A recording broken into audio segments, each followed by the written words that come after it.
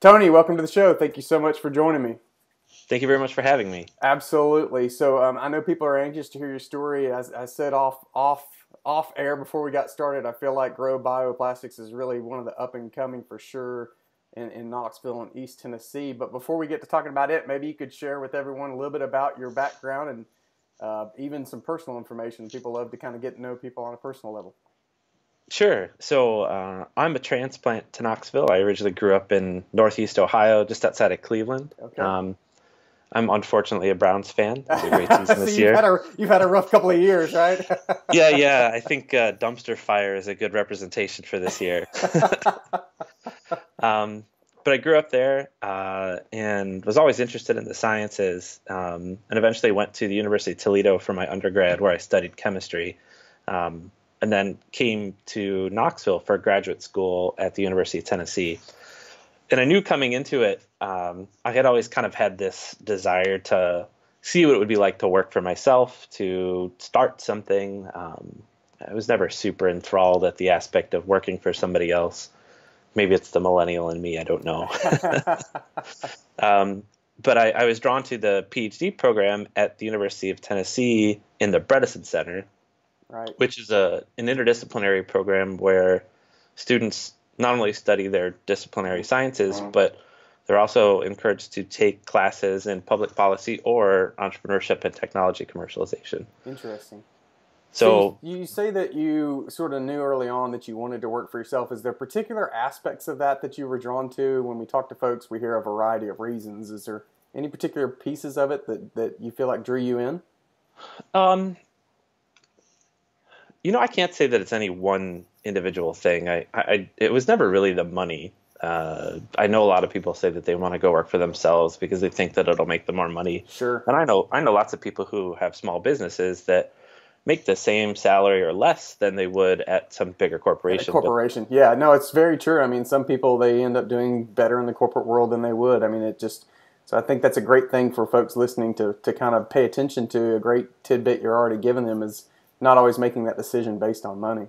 Was there other yeah. factors that drew you to it though? I think the the biggest part for me is um, I've I've wanted the opportunity, and I've had it in some other jobs in the past to kind of flex my leadership skills, mm-hmm. um, and I seem to work best when I'm the one who can kind of drive the direction of, of work being done, sure. and so the, it seemed to just fit best that if if I had an idea. Uh, I've, I've kind of had this internal drive to want to prove to myself that this is something that I'm capable of doing. Yeah, no, that's that's fantastic. So I hear that a lot, and it's in me too. It's just that need to kind of you you don't you're not necessarily trying to prove it to anybody else. It's just yourself. Can I pull this off? Can I do this? Granted, it's not always you. There's a team behind you, but in a leadership seat, you do feel a large part of responsibility for what happens, good and bad. And so that need to prove things you kind of also alluded to the idea of if I could use the word control, some level of control. Was there some part of it that was sort of controlling your own destiny to an extent? Yeah, I, I do think so too. So I, I was never the greatest student in high school. Um, I, I had a, a, a, pretty poor track record of doing well as far as grades go, um, which always seemed to make everybody mad because I, I would go through and never do my homework. but I would still I score would, well. I would still score well on all my exams. I would be in tip top percentile on standardized exams, um, and I just knew that there was something missing. I, I, wasn't. I don't know if I wasn't being challenged or or what it was. And so, to me, this is like the ultimate challenge: is in my professional life, what can I do to really make it, you know, entertaining and also worthwhile to, to put my time into. Sure. What what uh, I definitely want to talk about the company and how you how you founded it. But just while we're talking about it on a personal level, um, what's been the sort of the toughest part of going the the startup route? Um, right now, it's it's been juggling the fact that I'm still finishing my my PhD, PhD. at the same time. Yeah, it's, it's a lot of work. Um, there's a lot of people that I have to kind of appease, uh, myself included. Right. Uh, so it's it's it's definitely it's challenging. I, I, sought out to find a challenge and do it, and it, it's been that. and you sure did. Certainly have, yeah. What's what's been the best part of it? Um, I there's just I have a a lot of gratification in the fact that you know we we started from an idea about two years ago, really, and we can go into that in a minute. Yeah, that'd be perfect. Uh, um, and have built that to a point where we still have a whole lot left to do, but have been able to communicate the idea of what we're doing to a broad enough audience and, and raise money from these different pitch competitions yeah. that we participated in around the country. And so they're re- they're recognizing the, the the idea, and so there's you're saying there's gratification in the fact that you know it sort of went from this your idea only now other people are recognizing it and seeing the seeing the need too. So why don't we use that as a great segue into sort of how you got to this point? So you were at the university, you're going through your PhD, you're you're in the Bredesen Center, you got this entrepreneurial spirit, and so where where's that moment? Because I usually find when I talk to people, there tends to be this one moment when the company springs to life, and you go, oh, there it is, I see it, I see that thing. When do you remember that moment? I do. So I, I when I joined um, the Bredesen Center, the first year that I worked.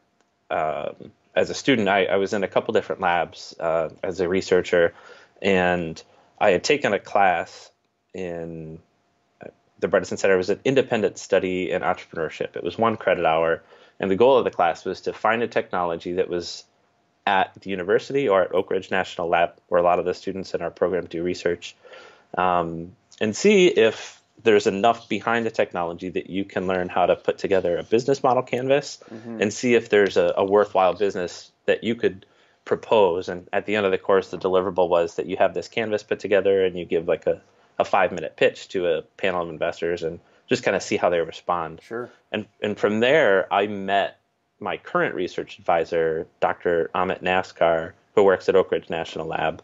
Um, and he was working on these lignin based plastics and for those of people listening who don't know what lignin is, Please. it's essentially the glue that holds all plants and trees together. It's what gives them their brown color. Um, and it's the leftovers of the paper making process. The paper companies just want the fibers for paper. Right. Uh, the lignin is they, they just burn it or landfill it. So um, once I had joined that lab and had a little bit of an interest in, you know, could there be some potential business here?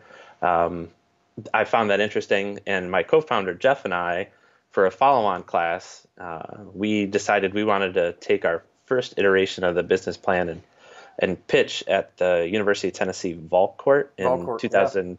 Yeah, yeah 2014 uh, we pitched, um, and the concept then was that we would be making uh, 3D printing filaments from lignin. Um, and it was just an academic exercise at that point. But we really wanted to challenge ourselves, sure. and we went in and and we won. We we took the first place prize. It was. Yeah, I uh, remember. Uh, I remember.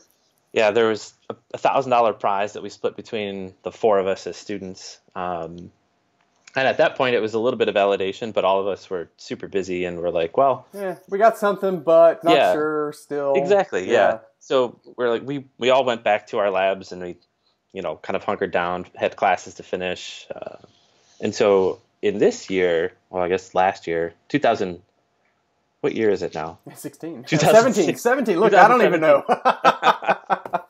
um, in the fall of 2015, I took a class with Lynn Youngs at the University oh, of Tennessee. Yeah, absolutely. Um, called New Venture Planning. It's uh, one of the entrepreneurship track MBA courses. Um, myself and a few other students from the Bredesen Center came in, and there I, I had this idea of, you know, what if we took a different angle using these materials, these different plastics that we were making, um, for some application that where biodegradability was important, mm-hmm. and that there could be a high volume use, and that there was an equally important impact on the environment because I don't know. There's an environmentalist thread in me too that wants to do good for the world as well as a common thing we're hearing from other people too that we're interviewing. Absolutely.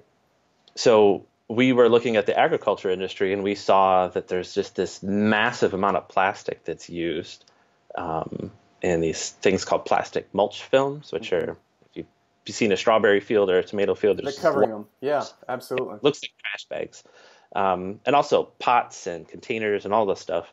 And most of us don't ever know anything about that. We we're not exposed to that. We go to the grocery store or Whole Foods or whatever, and we pick up this perfect apple, and we're like, "Oh, that's a great apple," or "This is a great tomato," and I'm going to buy it. And they don't have any idea how it got there. Right. And there's a lot of work that goes in from the people who are farming to do this, and they use a lot of materials that they kind of have to use because if they don't, they're not competitive anymore. Right. But they're really not very sustainable either. So we saw that as like that was kind of our light bulb moment. We're like, wow, there's this huge multi-billion dollar industry that's all using this product that is not sustainable. It costs farmers a ton of money every year to physically remove all of this stuff from the field, and then they have to send it to a landfill. Or if they don't landfill it, they burn it, which is illegal. Um, right. But unfortunately, some that's their only option. And so you had your pain point. I mean, at that point, you kind of went, "Oh, here it is. Here's the pain point that I can go out and solve somehow. At that point, did you know how you were going to solve it, or did you have to back into it?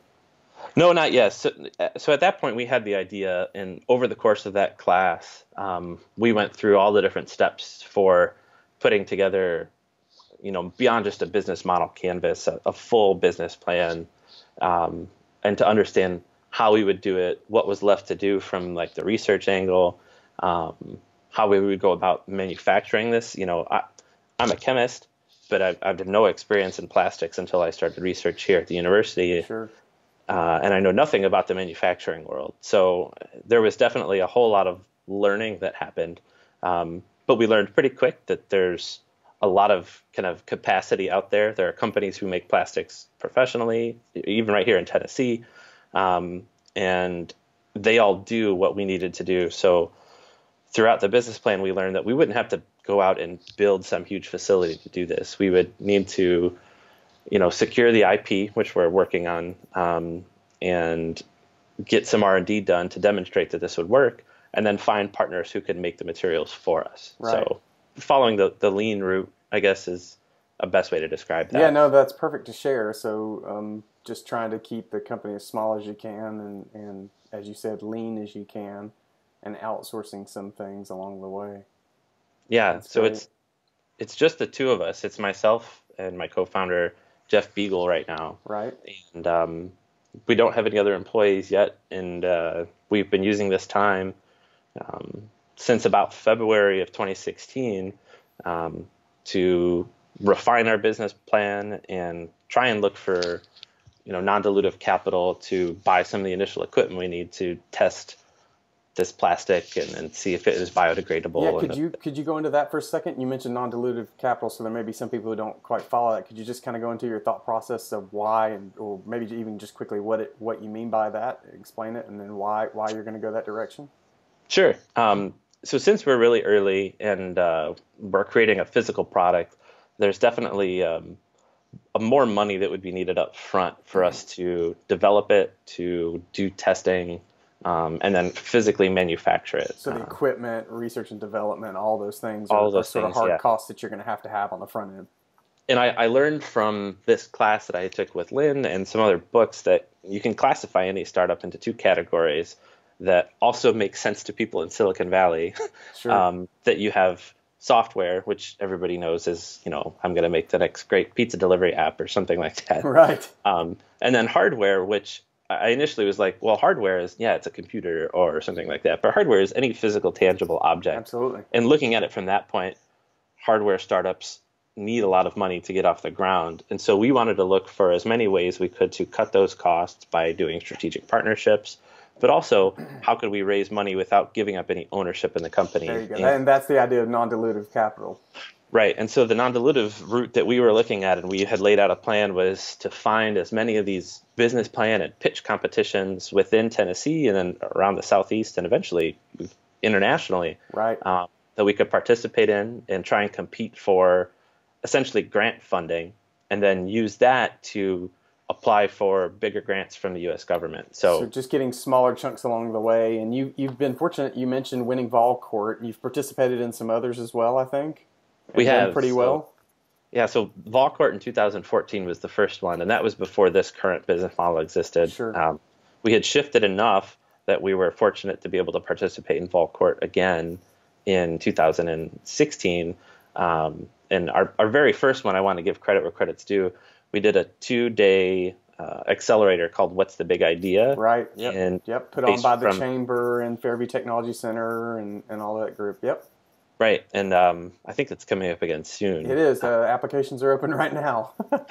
So um, we participated in that. That was just this two day crash course of everything we possibly could ever know, tearing our business plan apart and building it back up. And from there, that was the first time we had ever pitched uh, the new idea. And we took that and what we learned for it. And we've been fortunate to participate in, I think, 16 different pitch wow. competitions over the course of this year.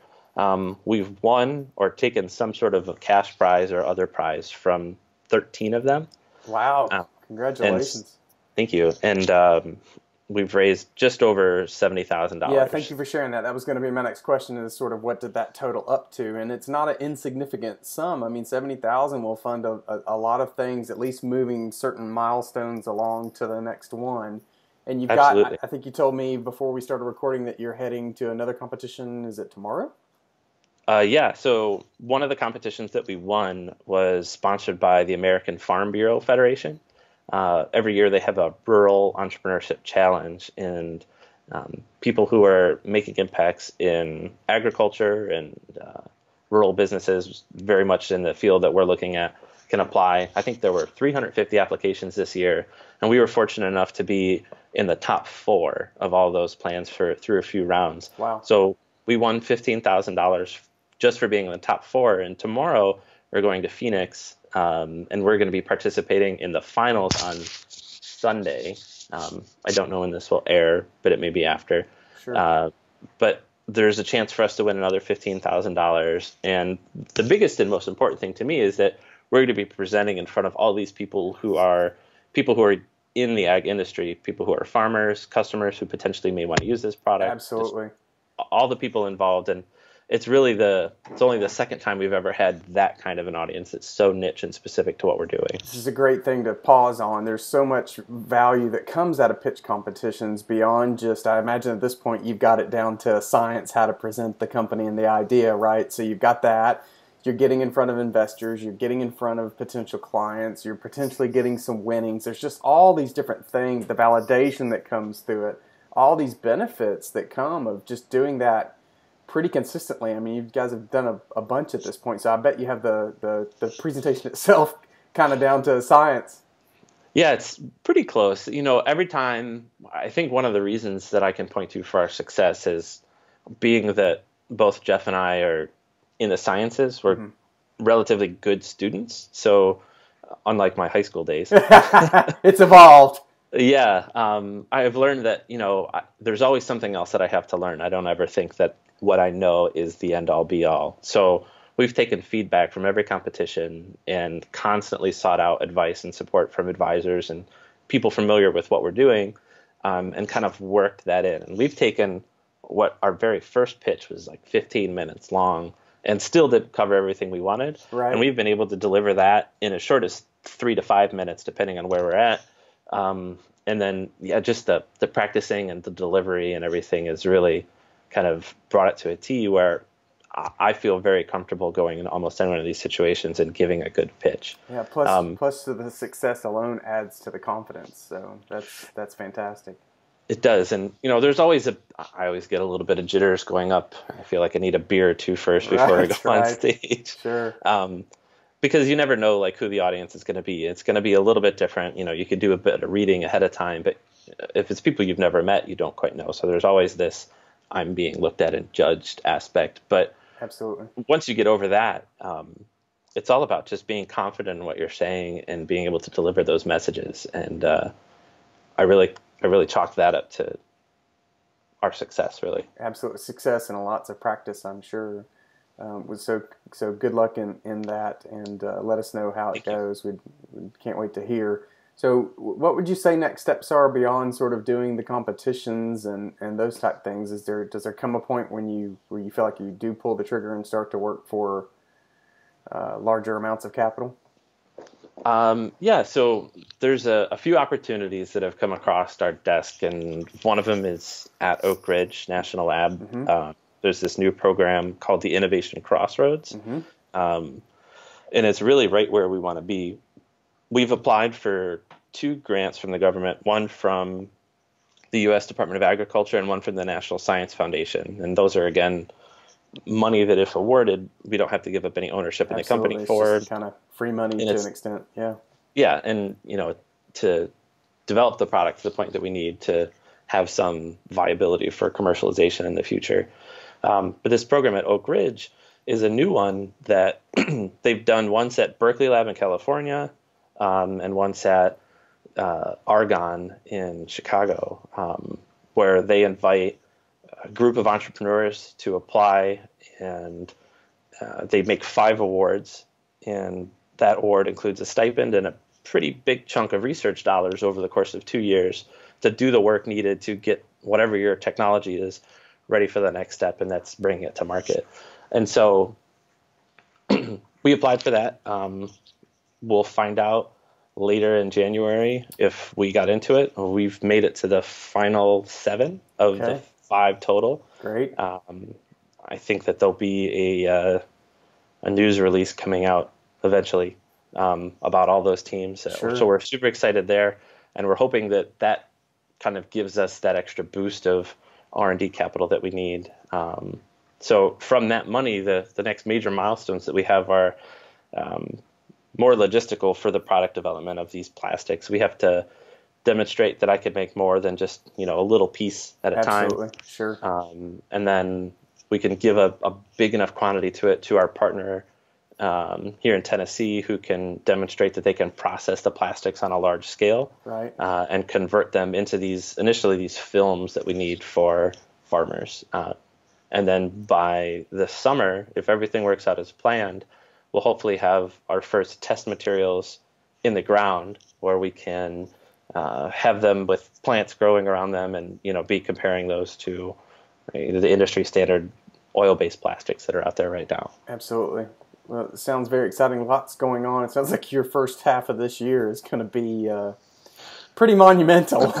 Yeah, pretty uh, monumental. all of that's it's going to be a, a lot of work to do, and you know I still have to keep plugging along on my my PhD work as well. Right, um, right. So all of that together, uh, I'll I'll be busy, but I, I enjoy it. I was going to say you back to Keeps the me on my idea you like the challenge, right? So it's, Yeah. it's good to it's it's good to stay busy. Um, well, that's a good place to kind of kind of end it. But if you if you have any thoughts on sort of um, if anyone's listening and they're thinking about going this direction, any parting wisdom for someone that's thinking about going the startup route?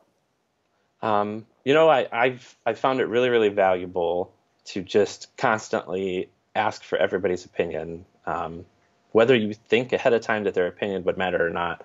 Uh, you'll quickly learn that everybody has something to teach you. There's always something that you can learn from somebody else. So whether it's a person that's done it before, whether it's a person that's helped other people do it before, or whether it's you know your parents or your grandma, um, all of those people talking about your ideas to them lets you get kind of the unfettered feedback that's necessary to see if, if not only if what you're doing for an idea is a good um, something good to pursue, but that you personally understand what it'll take and just to go for it. It's just lots of validation, basically. Talking to, Yeah. to lots of people and being willing to hear that feedback is tough for a lot of folks because it's, as I always tell Alex Lavage, if you know Alex, you know it's your baby, right? And when people call your baby ugly, it can get really tough. But Right. you want to hear those things. I, I, I know in my one of my own startups, I thought I knew exactly what the pain point was because I was in my own target market. And then by talking to some folks that were in that same target market, I found out that there was another pain point I hadn't even thought about because I was so close to the issue. So I think just just talk. It's a great great uh, piece of advice to leave for everyone. Is just talk to anybody and everybody that will listen, but not just expect for them to tell you what you want to hear. Really sit back and take in the feedback they give you, even if you think it's just not accurate. You've got to at least listen to it and ponder a little bit on what they're saying. So that's that's fantastic. Absolutely. I think that the the biggest piece of advice that we were given is to be coachable. Um, you know, a lot of people who decide they want to be entrepreneurs, there's already some level of personality that says, I know what I want to do and I'm going to figure it out and any decision I make is the right one because they've got to convince themselves that this otherwise crazy proposition that they're going to you know stop working on what normally makes them money or provides food for their family Right. and then jump in this whole mystery world of can I even build this thing and I have no idea. Um, getting rid of that mindset and allowing yourself to get feedback from people, especially people that you don't know, because that's the most valuable. Um, right. you know, your friends and family will probably tell you what you want to hear. And it's, it's easy. To, it's easy for mom to say, "Great idea." yeah, if you need the confidence boost, if you're feeling down, go talk to your mom or your grandma. They'll right. love you to death. They'll right. be like, "You're the best." But when you really need to know whether your idea is good or whether like how to build a team, how to raise money, find those people who you don't know and then ask. And they're probably going to take an interest especially here in the southeast. I didn't think that there would be a ton of people in this area because my exposure prior was oh everything in entrepreneurship is in california. That's exactly so why we're doing the show right? I mean it's, yeah it's, exactly. So there's so many people on. here. There's so many great resources. Um, so just reach out shoot an email to somebody you don't know ask for a cup of coffee. I've done that a lot of times, and it's been really beneficial. I've gotten some mentors out of it too. Absolutely, great, great, great advice. So, um, if anyone's interested in learning more, where can they find out more about the company and, and maybe even yourself? Uh, so, if anybody wants to find uh, about the company, they mm-hmm. can. Our website is growbioplastics plural uh, dot co. Mm-hmm. They can find us on Facebook or Twitter. Those same handles, okay. Grow Bioplastics. Um, if anybody wants to talk to me, you can send me an email. I'm just Tony at growbioplastics.co, uh, or I'm on Facebook and Twitter, uh, and LinkedIn. Twitter and LinkedIn are probably the best ways to get a hold of. Absolutely. Absolutely. Well, Tony, thank you so much for taking time. We wish you the best of luck in the upcoming pitches. Can't wait to hear more and uh, great advice for everyone. So thank you again. Yeah, thanks so much for having me, Jonathan. Absolutely.